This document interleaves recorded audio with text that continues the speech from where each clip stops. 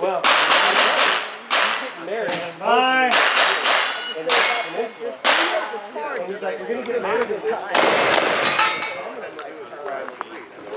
Oh my. November.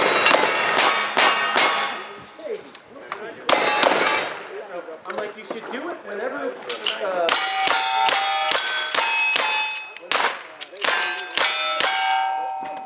okay, so like you should do it.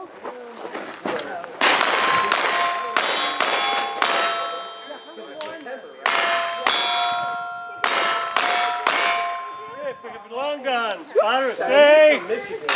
one, Girlfriend's from Fort Lauderdale. three.